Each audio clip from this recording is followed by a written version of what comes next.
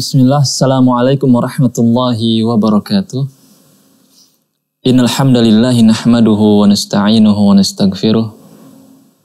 Wa na'udzu billahi min syururi anfusina wa sayyiati a'malina. May yahdihillahu fala mudhillalah wa may yudlil fala hadiyalah. Wa asyhadu an la ilaha illallah wahdahu la syarikalah. Wa asyhadu anna Muhammadan abduhu wa rasuluh sallallahu alaihi wa ala alihi wa ashabihi wa man tabi'ahum bi ihsanin ila yaumiddin. Amma ba'du kaum muslimin rahimani wa rahimakumullah jami'an. Kembali lagi di dalam ya, kajian kita pembahasan syarah kitab tauhid.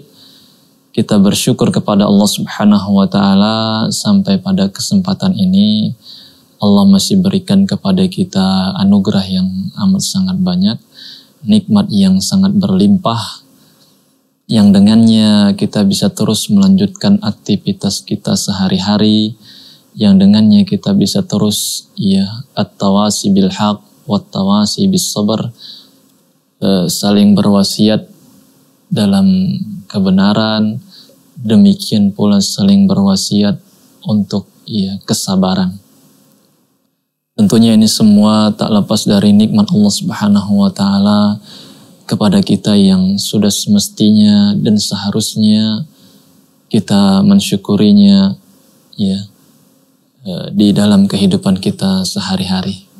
Mensyukuri nikmat Allah Subhanahu wa taala. Dengan banyak kita memuji Allah Subhanahu wa taala. Dengan banyak kita mengakui bahwasanya nikmat itu datangnya dari Allah Subhanahu wa taala Demikian pula mensyukuri nikmat Allah dengan menggunakan nikmat-nikmat ini untuk hal-hal yang dicintai dan diridhoi oleh Allah Subhanahu wa taala. Demikian pula kita senantiasa berselawat kepada Nabi kita Muhammad sallallahu alaihi wasallam. Nabi yang telah ya mendakwahkan syariat Islam ini kepada para sahabat sehingga agama ini pun sampai kepada kita, ya sudah selayaknya dan sepantasnya kita berselawat kepada Nabi kita Muhammad Sallallahu Alaihi Wasallam. Semoga kita menjadi umatnya yang kelak mendapatkan pertolongan, yang mendapatkan syafaatnya di hari kiamat kelak. Amin ya rabbal alamin. Kaum muslimin yang dimuliakan oleh Allah Subhanahu wa taala, pada kesempatan ini kembali kita melanjutkan pembahasan kita masih di dalam satu tema yang cukup besar yaitu urgensi daripada tauhid ini.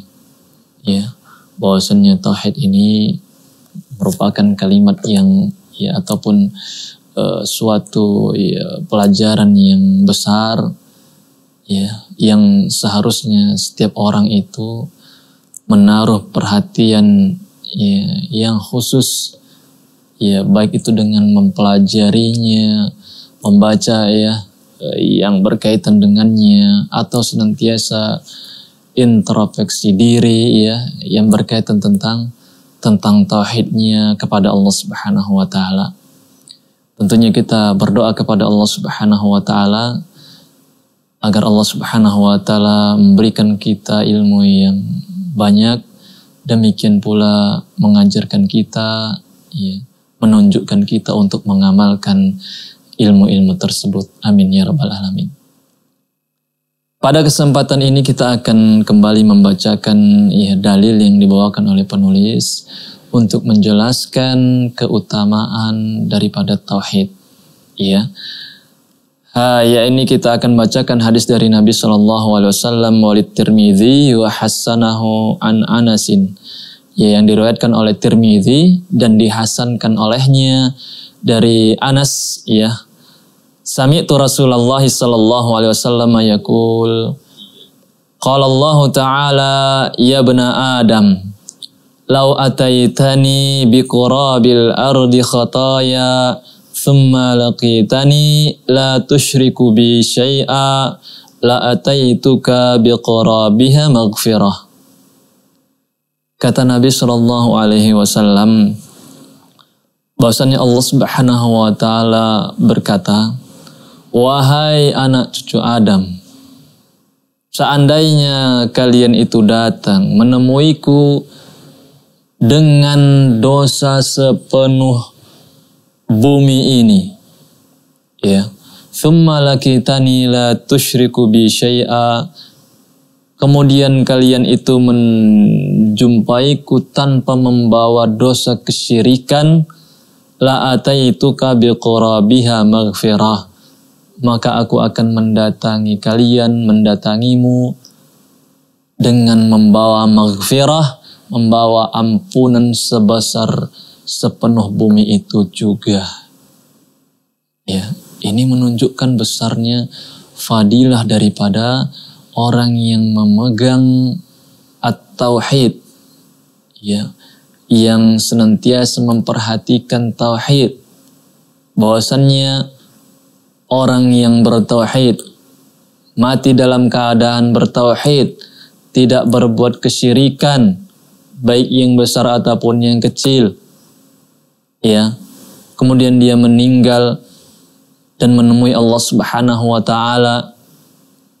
Ya walaupun dia memiliki dosa-dosa yang lain orang ini ya kelak Allah akan sambut dengan magfirah dari Allah Subhanahu wa taala, dengan ampunan dari Allah Subhanahu wa taala sebesar bumi itu pula.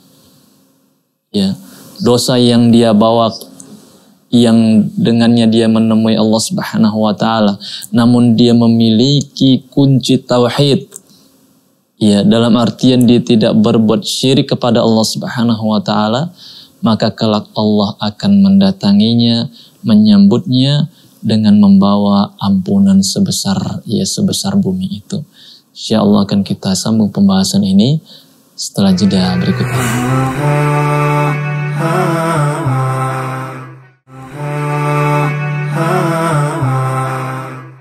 Alhamdulillah wassalatu wassalamu ala rasulillah ya mabadu kaum muslimin yang dimuliakan oleh Allah subhanahu wa ta'ala Kembali kita melanjutkan pembahasan kita masih di dalam tema yang cukup besar yaitu uh, urgensi daripada tauhid dan bahwasanya tauhid itu ya dapat menghapuskan dosa-dosa.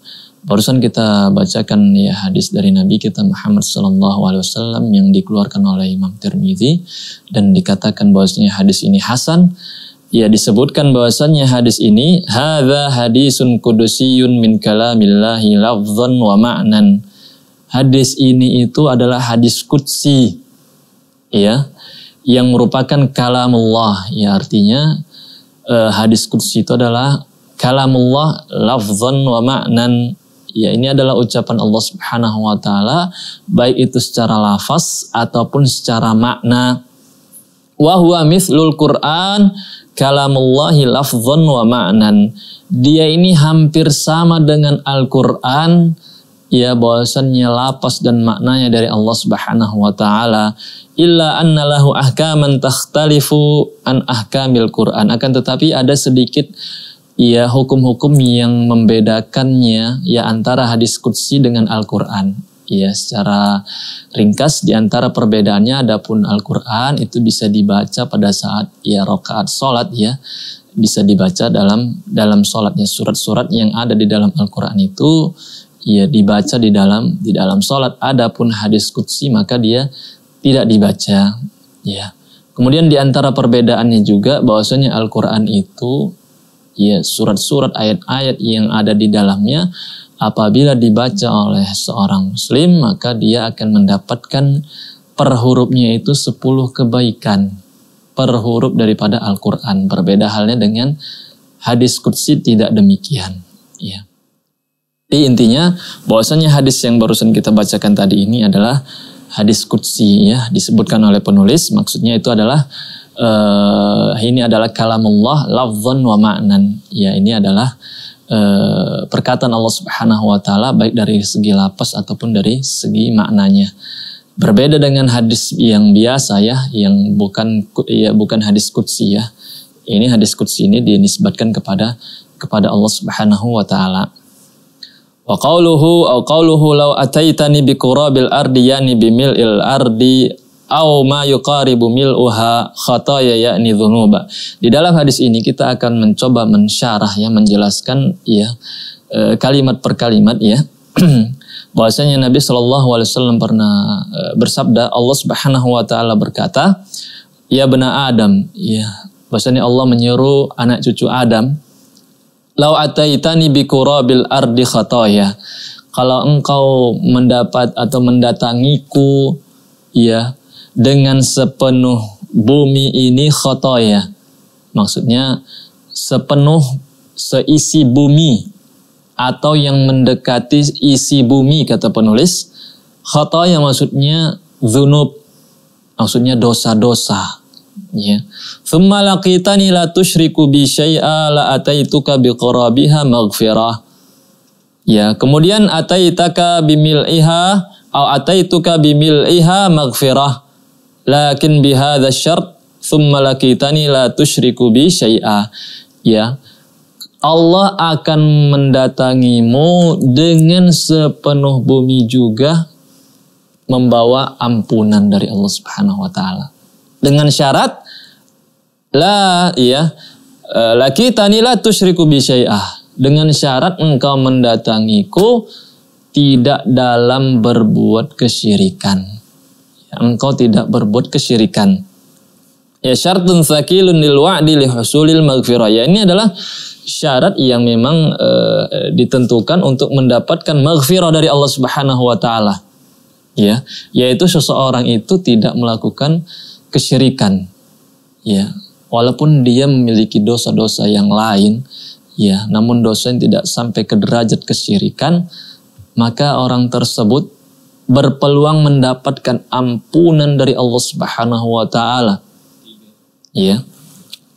Wa huwa salamatu minasyirki katsirihi wa qalilihi wa saghirihi wa kabirihi wa la yaslam min dzalika illa man sallamahu Allah taala. Ya, Tentunya maksudnya di sini kata penulis uh, seseorang yang bisa mendapatkan uh, maghfirah di sini maksudnya itu seseorang yang terbebas dari kesyirikan. Dia tidak melakukan ya kesyirikan baik yang besar ataupun yang kecil, ya uh, baik yang uh, tersembunyi ataupun yang tampak. Dan ini semua tentunya tidaklah bisa seseorang itu selamat kecuali memang dibantu diselamatkan oleh Allah Subhanahu wa taala. Wa huwal qalbus salim alladzi salima minasyahawati wasyubuhat yaitu eh, hati yang selamat sebagaimana Allah Subhanahu wa taala kabarkan di dalam Al-Qur'an yang selamat tentunya dari syahwat dan juga dari syubhat Allah Subhanahu wa taala berfirman Yauma la yanfa'u malun wala banun illa man atallaha biqalbin salim. Ya, yaitu pada hari tidak lagi bermanfaat anak dan harta-harta kecuali mereka yang datang ya dengan hati yang bersih, hati yang selamat. Maksudnya kamal atau kammala tauhidahu wa ikhlasahu lillahi ta'ala wa qama bi syurutihi bi qalbihi wa lisanihi wa jawarihi. Ya, maksudnya uh, bi qalbin salim di sini ya hati yang selamat adalah orang yang e, melaksanakan tauhid itu, menyempurnakan tauhid itu dan dia ikhlas kepada Allah Subhanahu wa taala, demikian pula dia e, melakukan ya yang menjadi konsekuensinya ya baik itu dengan lisannya, dengan hatinya, demikian pula dengan anggota badannya. Ya, mereka itulah yang e, akan mendapatkan ya e, keselamatan ya mereka itu adalah orang-orang yang hatinya selamat ya yang tentunya akan mendapatkan ya ampunan dari Allah Subhanahu wa taala. Insyaallah akan kita sambung pembahasan ini setelah jeda berikut ini.